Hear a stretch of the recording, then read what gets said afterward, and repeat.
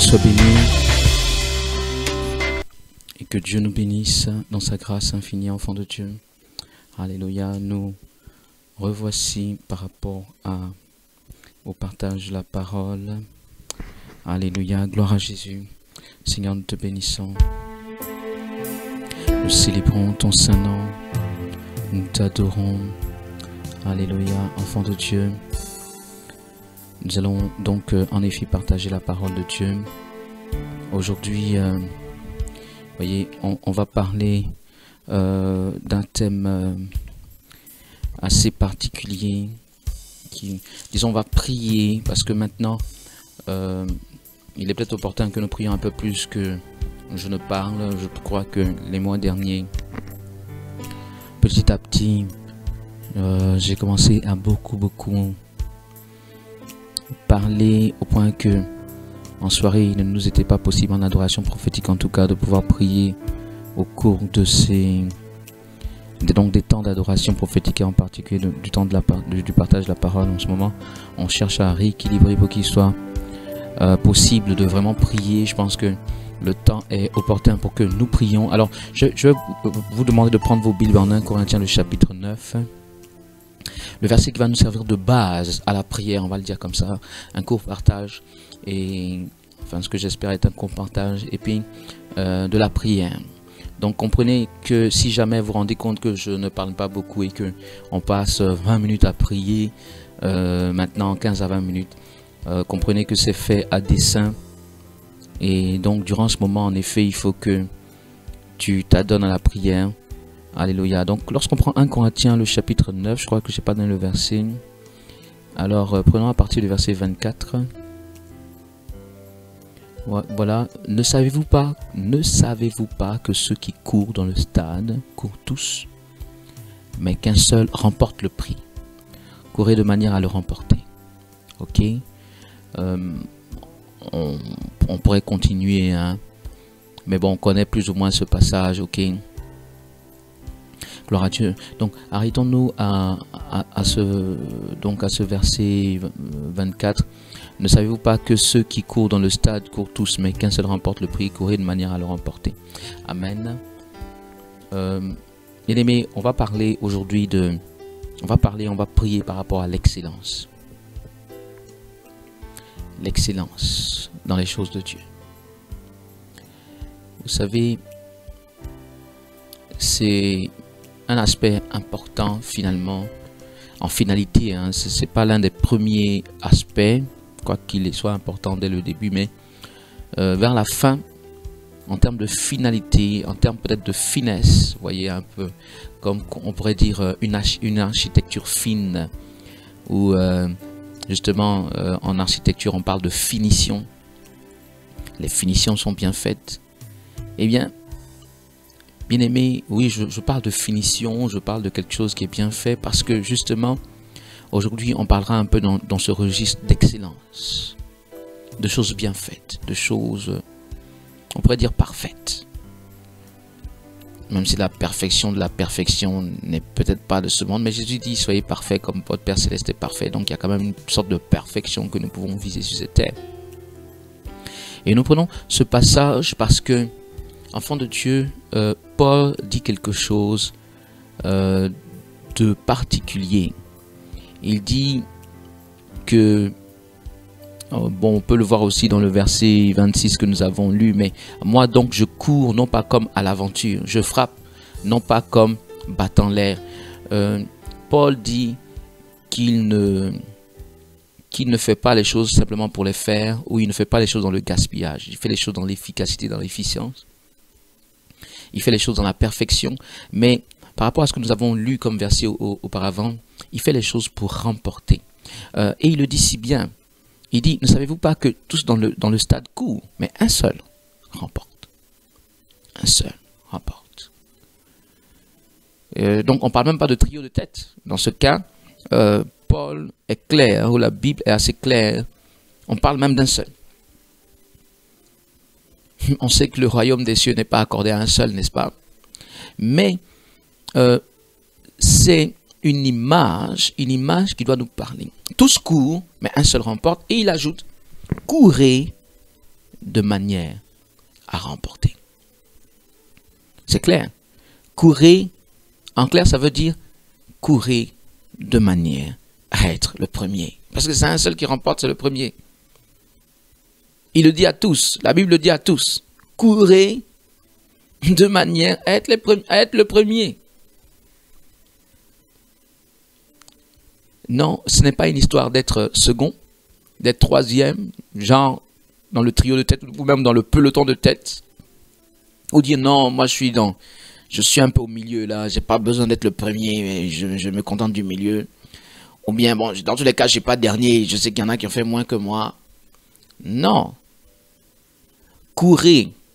Votre marche chrétienne ou votre course chrétienne doit être bâtie dans le sens de remporter, genre, remporter une médaille, remporter une récompense, d'être le premier. En ce moment, quand on aborde les choses sur ce temps, c'est vrai que on peut sentir dans, dans, la vie de nous autres chrétiens un peu de résistance. Courir de manière à être les premiers, le premier. Est-ce que c'est pas prendre les choses d'un point de vue un peu orgueilleux, etc. Imaginez-vous une salle de classe où un élève dit Moi, je cherche à être le premier de la, classe par rapport aux autres. Donc, en Christ, on se dit que si quelqu'un veut être le premier, on se dit que il fait mal. Mais ce n'est pas vraiment ce que Jésus a dit. Jésus a dit, si quelqu'un veut être le premier, il n'a pas dit il fait mal. Il a dit qu'il soit le dernier de tous, qu'il soit le serviteur de tous. Donc il n'a pas dit qu'il fait mal. Si quelqu'un veut être le premier, qu'il soit le serviteur de tous. Autrement dit, ce n'est pas comme si être le premier est une volonté à bannir parce que je suis chrétien. Non. Être le premier, et il faut que je développe, sinon si je le laisse comme ça, ça peut susciter en effet de la polémique. Mais être le premier n'est pas une idée à bannir, sinon cela n'allait pas être mentionné ainsi dans la parole de Dieu. Voyez, chercher à être le premier ou chercher à être excellent, donc le premier, être le meilleur, euh, n'est pas forcément à bannir, mais peut être à bannir sous un certain angle qui est malheureusement l'angle que la plupart qui veulent être premiers euh, manifestent et c'est ce qui pose problème. Dès le moment où tu veux être premier, dans le sens c'est là la difficulté en fait de ce thème de ce soir. Curieusement, on parlera de premier, et quand on parle de premier, ça donne l'impression qu'on parle de comparaison avec les autres. Mais justement, c'est dans ce registre que la Bible ne s'inscrit pas. La Bible dit, cherche à être le premier, mais la Bible ne dit pas, cherche à te comparer aux autres. Cherche à être le premier, c'est un peu comme si tu te battais par rapport à toi-même et non pas par rapport aux autres. C'est un peu comme si tu te battais par rapport à un objectif que Dieu t'a donné. C'est un peu comme si tu te battais pour atteindre une perfection que Jésus t'a assignée. Mais ce n'est pas soit le premier pour regarder, attends, je domine tel, ah, je sais plus que, enfin, je sais même pas dans quel registre et comment est-ce qu'on pourrait se comparer ou se mesurer, bref, bref, non.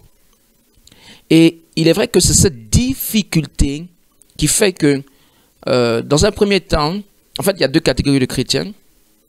Dans un premier temps, les, chrétiens honnêtes, mais qui ne comprennent pas euh, peut-être le fond de la question, se disent, en effet, ils se disent, moi, je ne cherche pas à être premier.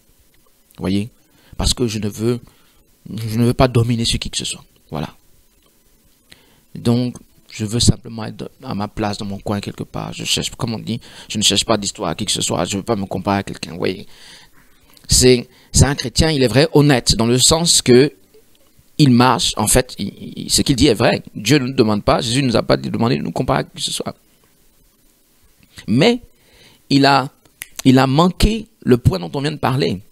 En fait, que être le premier ou chercher à être excellent, être, entre guillemets, le meilleur, en Christ, ça existe, mais ça n'existe pas vraiment pour être en comparaison vis-à-vis d'autres personnes. Mais ça existe pour faire les choses excellentes de Dieu et pour glorifier le nom du Seigneur. La deuxième catégorie de, chrétiens, entre guillemets, là je mets guillemets,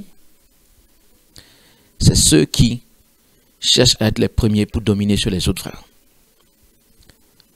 Ok. ça existe. Je n'en dirai pas plus, mais ça existe. Il y a, des gens qui... Euh, enfin, on le voit en fait. Enfant de Dieu, on le voit. Voilà. On le voit. Si tu examines bien autour de toi, tu vas voir qu'il y a des gens qui font des choses par rapport à d'autres personnes, se comparer, etc. Ça existe malheureusement. Et, chose curieuse, regardez, je parle de, deux catégories, mais ça ne devait pas être deux, parce qu'il devait avoir la troisième dont on parle maintenant, qui est la, véritable option. La première, option dont j'ai parlé, celle qui dit, ok, moi je, suis dans mon coin, voilà, trop, des, choses trop élevées, tout ça, c'est pas mon... Non, non, non. Ça, c'est une catégorie de, de, chrétiens. Et dans un premier temps, beaucoup de chrétiens s'inscrivent dans cette, dans cette logique. La deuxième catégorie, ce sont des gens qui aiment se vanter, qui aiment être les premiers, qui aiment se faire voir, etc. Et ça existe aussi dans le corps de Christ. Le problème, c'est que la, première catégorie, les chrétiens qui euh, disent « moi, je ne veux pas », et tout. La plupart du temps, en effet, ils restent à ce niveau-là. Et ils ne pourront jamais glorifier le nom du Seigneur à un certain niveau. Et on va expliquer que c'est un mal en soi, en fait, puisque le Seigneur veut être glorifié. Par contre, cette deuxième catégorie dont j'ai parlé, ce sont les gens les plus en vue. Mais curieusement, les plus en vue, et si vous voulez, malheureusement, qui colportent des valeurs d'orgueil, des valeurs de prétention. Et ce sont les plus en vue dans l'Église, dans, le corps de Christ. Donc on est vraiment à une sorte de confusion il y a quelqu'un qui va dire, moi je suis dans mon coin et il est dans les choses toutes plates, sans grande gloire de Dieu. Et il y en a qui sont les plus en vue, qui semblent glorifier Dieu parce que, comment vous expliquer, tout en cherchant des choses grandes, si vous voulez, les choses grandes qu'ils cherchent, on va dire c'est dans le cadre de Dieu, mais en réalité, ils les cherchent aussi pour eux. Donc, il y a une sorte de confusion il y a des grandes choses qui vont se faire, c'est vrai, euh, au nom de Dieu, mais c'est mêlé à une forme de chair, à, des choses charnelles. Donc, il y a une sorte d'ambiguïté. Euh, ça a toujours un goût un peu bizarre. On voit le Seigneur être glorifié dans une certaine mesure, avec envergure, mais en réalité, ou, je peux dire avec panache. Mais en réalité, le problème, c'est que celui qui est le porteur de, de cette soi-disant glorification de Dieu lui-même, indirectement, il cherche aussi sa propre gloire. Donc il y a une forme de... Vous savez, Dieu dit, je ne donnerai ma gloire à personne. Donc, entre, qui choisir finalement? Entre ceux qui, qui se minimisent, non, moi je veux rien, moi je suis dans mon coin, moi j'ai pas besoin. Et puis l'autre qui dit, ok, on va faire telle chose pour Dieu, on va faire telle chose pour Dieu, on va faire telle chose. Mais en réalité, c'est vrai qu'il dit pour Dieu, pour Dieu, mais il y a un peu de son ego qui se manifeste là-bas. Qui choisir finalement? Vous voyez que c'est un peu délicat. C'est pourquoi hein, il faut la troisième et la véritable catégorie. Paul en faisait partie. Paul dit quelque part, je suis le dernier des apôtres. Mais c'est le même Paul qui dit, courez de manière à être le premier. C'est-à-dire que cette, cette ou cette élévation que nous pouvons chercher, dans le cas de ce que Paul explique, est strictement pour la gloire de Dieu. Nous recherchons des choses excellentes dans la mesure où notre Dieu est excellent. Voici. Nous, voulons quelque chose de parfait dans la mesure où lui, il est parfait. Voyez, c'est un peu comme dès le début. Vous le verrez, même, même dans le livre d'Exode, dès le début, quand ils sont encore en Égypte, quand le peuple d'Israël est encore en Égypte, quand, quand Dieu doit intervenir euh, et qu'il doit avoir euh, ce grand cataclysme au milieu des familles égyptiennes, il, il demande à ce que les familles israélites sacrifient des agneaux, n'est-ce pas? Eh bien, il dit, prenez un agneau sans défaut. Et cette caractéristique de l'agneau sans défaut va être durant tout l'Ancien Testament pour aboutir au Nouveau Testament en la personne de Christ, comme le savons. Mais vous, vous prendrez tout l'Ancien Testament, Dieu dit, apportez-moi quelque chose de parfait. Apportez-moi quelque chose comme on pourrait dire, qui me ressemble. Dieu, Dieu est quand même le créateur du ciel et de la terre. Il, est le tout-puissant, tout lui appartient. Il dit, si tu veux lui apporter quelque chose, apporte quelque chose qui, soit digne de lui. Il faut qu'on le dise. C'est-à-dire qu'il lui, ressemble. Il disait, n'allez pas prendre les derniers, quand vous voulez m'offrir des choses, n'allez pas prendre les derniers de vos troupeaux, les malades, les, galeux, etc. Et puis dit non, c'est pour mon Dieu. Ouais, c'est-à-dire que tu regardes, c'est comme le, type regarde dans son troupeau, tout ça, il dit bon, attends, attends, attends. Quelque chose qui est derrière là-bas, un peu bizarre là. Il dit ok, ça, on va donner ça pour, euh, la gloire de Dieu. pour, pour la gloire de Dieu, enfant de Dieu. Non. C'est-à-dire que nous parlons de ça parce que l'œuvre de Dieu est une offrande. L'œuvre de Dieu est un sacrifice.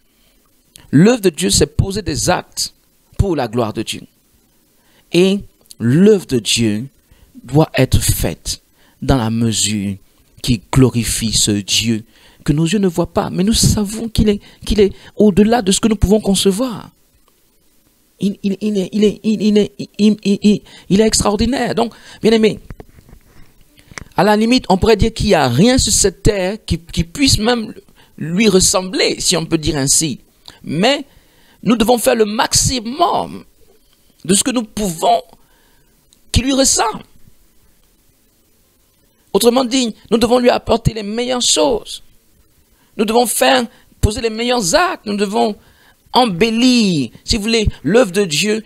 Nous devons faire des choses qui sont à la gloire de son nom. Et aujourd'hui, c'était de ça que je voulais vous entretenir parce qu'on m'a prié. Aujourd'hui, tu dois commencer à t'inscrire dans des choses excellentes pour Dieu. Toi-même, chercher à être excellent. Chercher à poser des actes excellents pour Dieu. Faire des choses excellentes pour Dieu. Nous l'avons dit. Tu fais abstraction de ta personne. Tu ne le fais pas pour toi, mais pour Dieu. Mais je t'en prie, pense à faire des choses excellentes. Je crois que je vais terminer, mais c'est un mal. Je le crois, c'est un mal que, en réalité, dans l'Église, que ce soit dans la gestion de notre temps, dans la gestion de, notre, de nos forces, de notre énergie, de notre argent, de tout ce que... Je me rends compte que beaucoup ne mettent pas Dieu à la première place comme il se devrait. Comme il se devrait. Et puis, si vous voulez, on voit les hommes se battre vraiment à fond, très souvent pour eux, pour ce qui les concerne. Ils sont prêts à tout. Si on dit, ah, tu peux avoir, un, je sais pas moi, un 1000 euros là-bas, tu vas faire des démarches. Ça, il va faire les démarches. Même si c'est six mois, il va faire les démarches parce qu'il doit avoir 1000 euros. Il va se battre, c'est pas possible, pour pouvoir avoir son argent. Mais quand il s'agit des choses de Dieu, est-ce qu'on se bat à ce point? Est-ce qu'on est prêt à notre va-tout? C'est là, c'est là qu'il faut maintenant se mesurer pour dire je vois quelque chose qui ne va pas. Je dis non, ça c'est pas la gloire de mon Dieu. Vous voyez, c'est à cause d'un pareil zèle que David a reçu la promesse d'avoir dans sa lignée le Messie. Il dit non, ça, cette tente, c'est pas la gloire de mon Dieu. Il n'a pas reçu de révélation. Mais ce désir des choses excellentes, vous voyez, il dit, il dit à son fils, cette maison qu'on va bâtir pour Dieu sera grande en renommée sur toute la terre. Est-ce que c'est pour lui, David, qu'il a fait ça? Non, ce n'était pas pour lui, David. D'ailleurs, il a tout préparé. Même quand Dieu lui a dit, tu ne le feras pas parce que tu as versé beaucoup de sang, il a tout préparé, sachant qu'il il mourra. Mais il a quand même tout préparé. Ce n'est pas pour lui. C'est pour la gloire de Dieu. À cause de ce qu'il a dit, je vais bâtir une si grande maison, une si belle maison pour mon Dieu Dieu a envoyé Nathan lui parler, comme vous le savez, en disant, ce n'est pas toi, mais, mais, mais, comme tu as voulu me bâtir une maison, moi, l'Éternel, je déclare que je vais te bâtir à toi une maison, une dynastie, une lignée, de telle manière qu'il y aura toujours un de tes descendants assis sur le trône. Et, comme vous le savez, cela s'est réalisé parfaitement en la personne de Christ le Messie. Parce que quelqu'un cherche les choses excellentes pour Dieu. Parce que quelqu'un veut poser des, actes excellents pour Dieu. Sans orgueil aucun. Comprends-tu que euh, en francophonie, nous avons, nous avons fort à faire? Je ne sais pas quelle mentalité, mais nous avons une mentalité assez bizarre en francophonie. C'est on fait tout, on fait tout, et après on pense à Dieu. C'est vraiment comment, on peut dire là, le, restant ou je sais pas quoi, allez. Bien aimé, bien aimé, bien aimé. Il faut, qu'on pose des actes pour le glorifier. Je crois que le Seigneur nous donne euh, ce partage, ce jour, en ce jour, euh, pour, nous éclairer, il est vrai, mais aussi pour que nous puissions prier pour ça, car c'est la prière qui va nous aider à pouvoir y arriver. Et en effet, nous allons nous mettre à prier. Bien aimé, conclusion de ce que je dis, une petite conclusion. Les choses excellentes ne sont pas mauvaises en soi. Et même les grandes choses pour Dieu ne sont pas mauvaises en soi. Le, gros problème, c'est comment tu te positionnes par rapport à ces grandes choses que tu dis vouloir faire pour Dieu. Voyez, on va s'arrêter là. Mais je pense qu'on a compris l'essentiel. À savoir finalement que je prenne ce que j'ai de meilleur. Ce que j'ai de plus beau. Que je prenne ce que j'ai de plus excellent. Quand on parle de ta force, on pourrait dire le meilleur de ta force. Le, de ton cœur. La, la profondeur de ton cœur Vraiment, pour Dieu, toutes tes forces, toute ta vigueur, donne ta vigueur pour Dieu. Voilà. Cherche des choses excellentes, pas pour qu'on parle de toi, mais cherche des choses excellentes pour ton Dieu, de manière tout à fait effacée. Dieu te récompensera. Et c'est dans cette logique que nous devons nous, inscrire. Pourquoi? Parce que le Seigneur a besoin de telles personnes pour que son nom soit glorifié sur toute la terre. Si c'est la catégorie des gens qui disent non, moi, Dieu te dit soit devant, tu dis non, moi, ici derrière, ça me plaît, c'est bon, c'est moi, devant. Ou je vais être trop vu. Tu sais, moi, je suis âme. Bien aimé, même si tu dis que tu es âme, que Dieu te dit devant et que tu es derrière, tu commets un péché. C'est un péché, c'est-à-dire mal faire aux yeux de Dieu, désobéir à Dieu. Dieu dit, j'ai investi des qualités, j'ai investi des talents, je t'ai donné peut-être des ressources financières, je t'ai donné des, ressources en termes d'intelligence. Je Utilise ça vraiment au maximum. Pour moi, fais de grandes choses, bâtis de grandes choses. Ne gaspille pas. Alléluia. Nous allons prier. Shababa. Notre prière de ce jour, c'est donc Seigneur, j'ai compris. Conduis mes mains, conduis ma pensée, conduis tout mon être à poser ces actes d'excellence pour toi vont vraiment te glorifier. Je veux avoir une mentalité de faire des choses excellentes pour toi. De manière tout à fait euh, éloigné en termes de propre gloire. Je veux être effacé. Mais je veux que par mon canal, ton nom soit glorifié. Une telle disposition est nécessaire pour être puissamment utilisé par Dieu sur la terre. Euh, si tu veux être puissamment utilisé par Dieu sur la terre, mais qu'il y a encore en toi, comme j'expliquais, de la chair, bon, en même temps, quelqu'un qui veut s'élever, au moment où il cherche à élever, soi-disant le nom de Dieu lui-même, à, chaque fois que tu fais ça, en fait, tu, tu bloques cette élévation. C'est comme un, contrepoids à l'élévation. Cette, cette gloire, ce sentiment de gloire. Donc prions le Seigneur. Que notre Seigneur nous mette dans cette disposition, dans cette clarté d'esprit, nous donne les moyens, je crois que nous avons même déjà des moyens, mais bref, qui, nous conduisent à poser ces actes excellents au nom de Jésus, pour la gloire de ce nom. Prions pour ça, enfants de Dieu. Soyons dans les choses excellentes pour Dieu. Seigneur, je prie dans le nom de Jésus. Prions ensemble. Enfant de Dieu, c'est notre prière de ce jour. Père, je prie dans le nom de Jésus-Christ. Nous ne voulons pas nous inscrire dans la médiocrité. Seigneur, quand il s'agit de toi, Seigneur, toute la terre t'appartient. La terre n'appartient pas au diable et la terre n'appartient pas au fils du diable. Mais Seigneur, tu as dit que lorsque tu seras élevé de la terre, tu attireras tous les hommes à toi. Et nous voulons que tu sois élevé au-dessus donc de ces choses terrestres, que tu sois bien visible, nettement au-dessus de ces choses charnelles. Seigneur, nous voulons que ton nom soit glorifié. afin qu'en effet les hommes soient attirés massivement à venir à toi. C'est pourquoi, tandis que nous croyons que tu nous as appelés à poser ce genre d'acte, nous prions que tu nous disposes toujours davantage. Seigneur, si dans notre cœur il y avait une sorte de, lutte, euh, soit nous minimiser ou nous, toujours nous, nous rabaisser et ne pas rechercher les choses excellentes, Seigneur, touche notre cœur. Si par contre c'était une sorte de, de gloriole personnelle et humaine que nous voulions avoir, Seigneur, touche aussi notre cœur.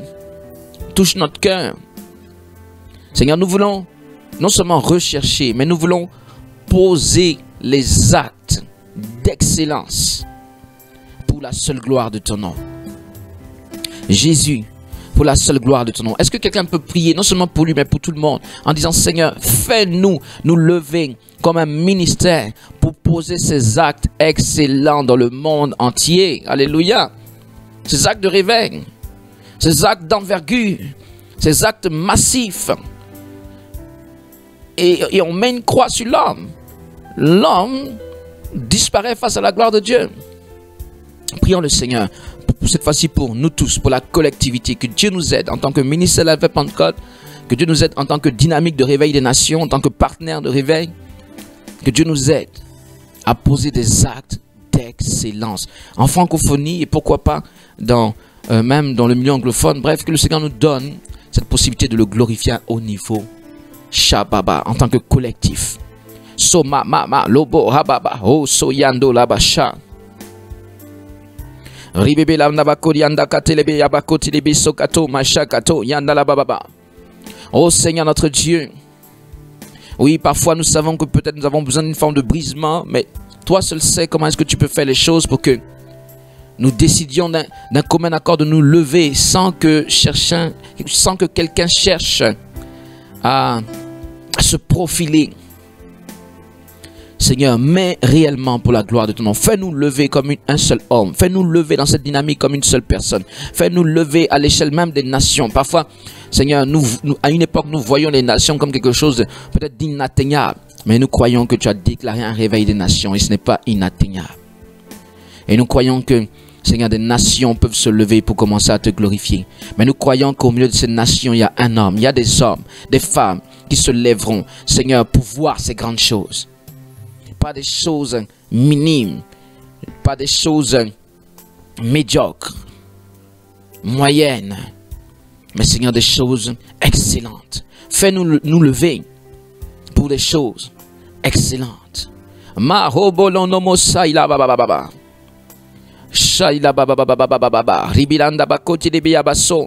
Seigneur, sur cette terre, combien de temps avons-nous Nous voulons pouvoir te glorifier à juste titre, car c'est la mission que tu nous as donnée.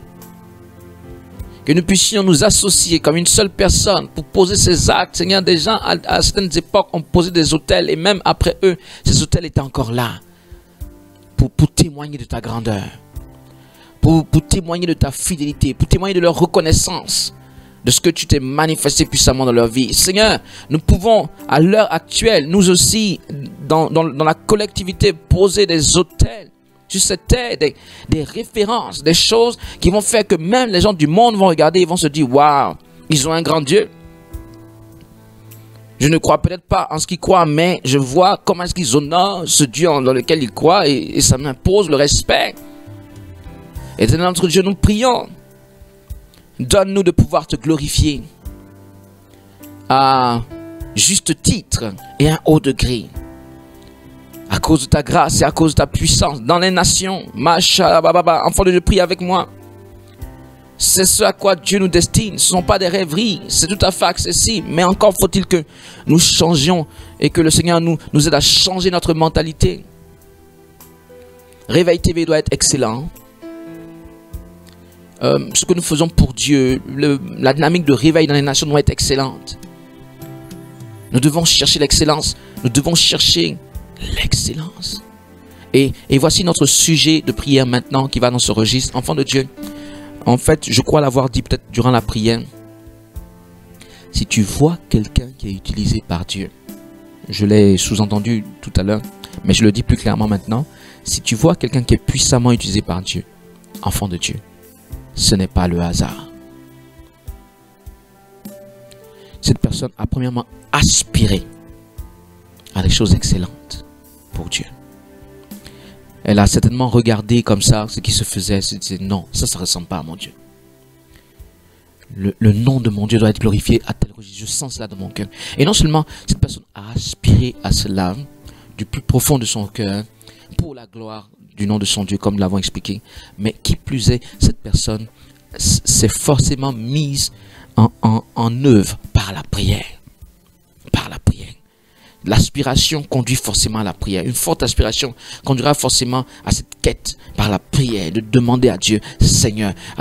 parfois même, on peut dire, genre une prière d'agonie. C'est quelqu'un qui a tellement cela à cœur, qui, qui, qui, qui en perd, on peut dire même le souffle. Il ne vit même presque plus tellement il, il, il, demande, il attend cela de la part de Dieu. Bien aimé, je le répète, si tu vois quelqu'un qui est puissamment utilisé par Dieu sur cette terre, ou qui a posé un certain nombre d'actes, eh bien, il y avait une telle disposition dans son cœur.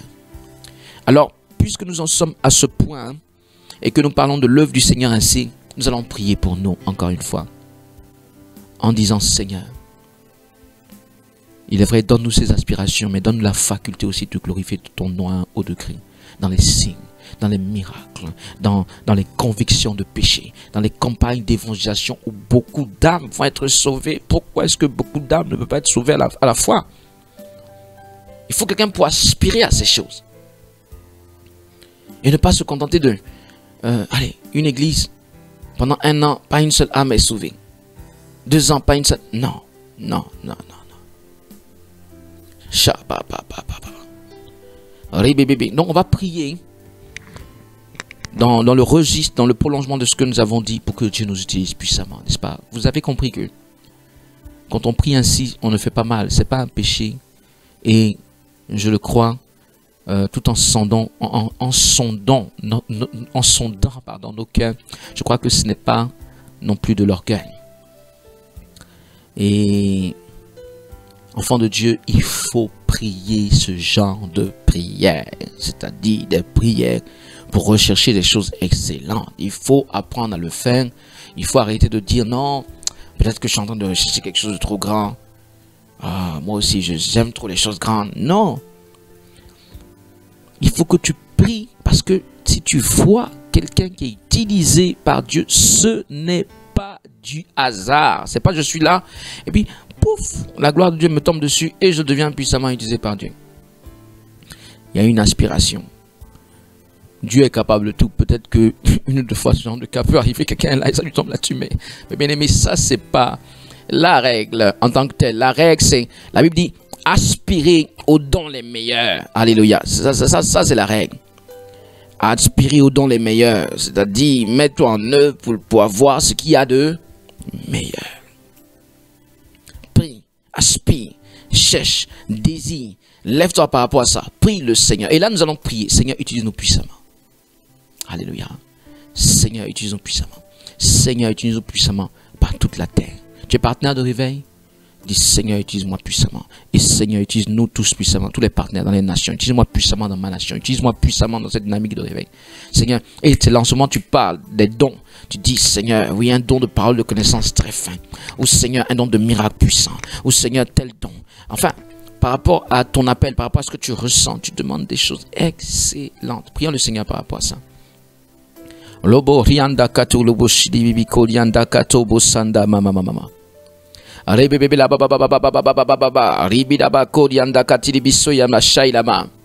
Oui Seigneur, nous sommes convaincus que nous ne faisons pas mal tant que notre cœur est disposé pour la gloire de ton nom. C'est pourquoi nous te demandons, Seigneur, oui, d'utiliser puissamment tes enfants dans le monde entier. Seigneur, je peux même dire tu sois vu au travers d'eux. Quand bien même on croirait les voir eux, qu'en réalité on ne les voit pas eux, mais on te voit à travers eux partout. Oui, qu'ils soient utilisés partout. Depuis les sommets des États jusque dans les couches sociales les plus basses peut-être, allons-nous dire. Seigneur notre Dieu, qu'on retrouve tes enfants partout en train de glorifier ton nom. Partout en train de manifester ta puissance, de démontrer ta puissance, de démontrer que c'est toi qui es Seigneur. Seigneur, tu as dit que le royaume de Dieu ne consiste pas en paroles. Nous ne voulons plus de blabla, nous voulons la gloire de ton nom. Seigneur, utilise-nous. Prions pour ça, enfants de Dieu. Seigneur, utilise-nous, utilise-nous, utilise-nous, utilise-nous, utilise-nous, utilise-nous. Seigneur, euh, pardon, enfant de Dieu, il a dit, demandez, vous recevrez. C'est comme ça. Tu veux voir, demande-le, tu vas recevoir. Mais il n'y a pas de, loterie du genre, je ne demande pas parce que Dieu lui-même sait. Je ne demande pas, je ne demande pas parce que Dieu lui-même sait. Je ne demande pas parce que inutile que je cherche des choses grandes. Et puis ça va te tomber là-dessus. Non. Demande parle à ton Dieu en ce moment par rapport à ces choses excellentes que tu veux voir se manifester. Demande, dis les choses précisément. Seigneur, je veux, je veux que 10 personnes par jour soient, gagnées par mois. Tu vois, demande des choses précises. Seigneur, je veux prêcher euh, sur tous les continents. ça, peut être la volonté de quelqu'un. Euh, mais écoute, dans toutes ces prières, mets bien la gloire de Dieu devant, c'est-à-dire profile bien la gloire de Dieu, que ce ne soit pas donc une satisfaction personnelle que tu recherches. Alléluia. C'est comme quelqu'un qui dirait, ok, je veux prêcher chez les pygmées. Oui, euh, sur tous les continents, on va t'envoyer aussi chez les pygmées pour prêcher. En Amazonie, partout pour prêcher. Il, nous, faut bien des personnes pour y aller, enfants de Dieu.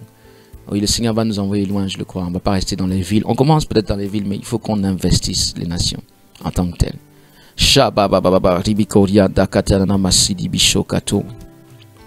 Alléluia. Merci Jésus. Prions. Si, si, si je reste silencieux comme ça, je suis en train de supposer qu'il y a des prières. Je veux bien croire qu'il y a des prières que vous êtes en train de faire, car c'est la prière qui amène toute chose à sa réalisation. Au nom de Jésus. Seigneur, nous prions dans le nom de Jésus. Seigneur, pour euh, tel que la Bible dit, non pas à nous, non pas à nous, mais à ton nom, donne gloire.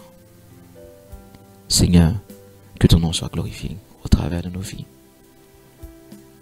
Roi des rois, enfant de Dieu, prions, celui qui sème récolte. Demain, tu verras la conséquence de cette prière. Prie, sème. Remina Makodia Baba Baba. Robo Santa Laba Koti Libiko Sandili Shakata Baba Baba Baba. Jésus, Jésus, Jésus, Jésus, Jésus. Alléluia. Terminons pour dire que lorsqu'on cherche les choses excellentes pour Dieu, véritablement, soyons inspirés, soyons bien inspirés lorsqu'on parle de choses excellentes. Il y en a, par exemple, qui vont se dire, je vais m'habiller de, de, de, à tirer à quatre et plein de, de choses très chères, soi-disant pour la gloire de Dieu. Bon, il faut qu'on se pose la question dans une telle condition, parce que ça, euh, avant qu'on termine, le Saint-Esprit m'a mis ça en esprit pour qu'on nuance ça vers la fin. Euh, cette histoire de pour la gloire de, Dieu, il y en a aussi qui ont utilisé ça pour, euh, si vous voulez, habiller tous leurs excès. Nous ne sommes pas dupes. Et on, a en droit de se poser la question, ok, tu t'habilles. Oui, s'habiller correctement pour Dieu n'est pas une mauvaise chose en soi, mais il y, a, toujours une sorte de limite qu'il ne faut pas franchir. Vous voyez Il y a une sorte d'excès qui n'apporte rien si ce n'est euh, finalement attirer l'attention sur toi ou une gloriole personnelle. Voilà. Et ça, nous l'avons dit, nous ne nous inscrivons pas dans ce registre. Voilà. Donc, soyons sages. Soyons sages. N'utilisons pas non plus ce prétexte comme certains, ils ont pris la chose dans l'autre sens. C'est un peu ce que je disais. Il y en a qui posent des actes, mais en réalité, derrière ça, c'est eux. Donc, euh, soyons sages. Ok. Euh, je souris parce qu'il y en a qui disent, ok, j'ai entendu parler d'un truc comme ça. Quelqu'un qui dit, je veux un jet privé de combien de milliards finalement? C'est pour prêcher l'évangile. Mais ça, ça, ça, crée un tollé. Vous devez, vous devez savoir de quel, quel prédicateur je parle. Ça crée un tollé au point que la personne a dit, ok, non, finalement, je n'ai jamais dit ça, j'ai jamais dit ça. Bien aimé, euh, pourquoi ne pas aller dans des dimensions plus raisonnables? Certainement que certainement que c'est une nécessité, pourquoi pas, de, je sais pas, je vais pas discuter là-dessus, mais peut-être que pour lui c'est une nécessité d'avoir ce jet, mais le registre, euh, il a, il a, il a, il a évoqué parce que c'est beaucoup plus facile de se déplacer à l'intérieur de, de, de, de, ce, de ce large pays qui ressemble quelque part à un continent, euh, voilà, et puis même pour certains voyages internationaux, soit. Mais pourquoi être allé si loin dans c'est un jet qui est un jet même des richissimes de ce monde? Euh, l'un des plus chers. Pourquoi? Et ça a créé le tollé. Voilà. C'est ce qu'on appelle euh, dépasser ou franchir la, ligne. Voilà. Euh, quelque chose, je ne sais pas. Hein. Peut-être que pour lui c'était nécessaire. Quelque chose qui certainement était nécessaire. Finalement, voilà. Ça a suscité un tollé. Et je ne sais pas, en ce moment, je ne sais pas si la personne a pu avoir ou quoi que ce soit, mais bon. C'est pour vous dire que nous devons savoir rester dans une limite euh, raisonnable. D'ailleurs, le raisonnable, c'est le Saint-Esprit qui nous le donne. Si on écoute le Saint-Esprit, on n'arrivera jamais à ce genre d'excès. Enfant de Dieu, nous y sommes. Laisse-moi annoncer sur ta vie dans le nom de Jésus et sur ma vie, sur celle de tous les partenaires, même ceux qui ne sont pas connectés, dans le nom de Jésus des choses excellentes vont émaner de nous. Dans le nom de Jésus, les actes que nous posons actuellement, de ces actes vont susciter des nations. Alléluia. Un peu comme Abraham, de fils et de filles du royaume. Euh, la gloire de Dieu, je proclame, je prophétise et dis Amen à cela. La gloire de Dieu va éclater par notre canal à un haut degré dans ce monde, dans le nom de Jésus-Christ.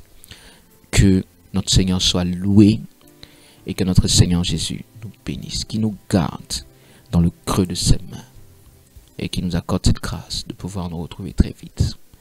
Demain, par la grâce du Seigneur, donc s'il le permet, nous sommes ensemble. Alléluia. Et après-demain, nous sommes en soirée Que Dieu vous bénisse. Shalom à tout le monde. Portez-vous bien. Rappelez-vous, nous sommes tous ensemble pour le réveil spirituel des nations. Shalom.